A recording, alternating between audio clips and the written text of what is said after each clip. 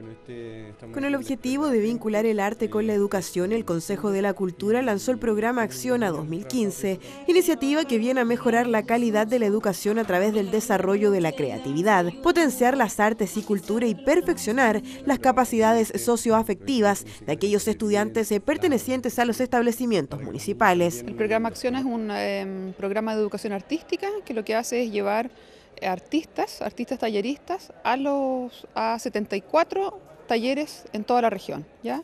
El objetivo es que mm, los talleristas planifiquen en conjunto con el profesor de aula y vayan introduciendo nuevas eh, metodologías, nuevos contenidos, nuevas maneras de pensar también en los estudiantes.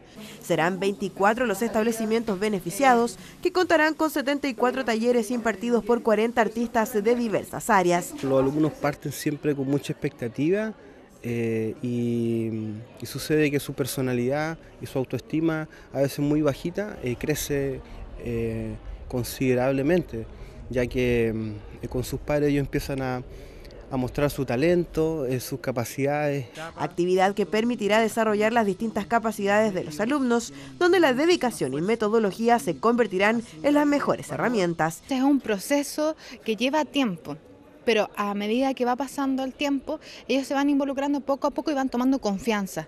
Talleres de arte, música, danza, artes visuales y fotografía son solo algunos de los cursos que los estudiantes podrán disfrutar. Mucho el taller.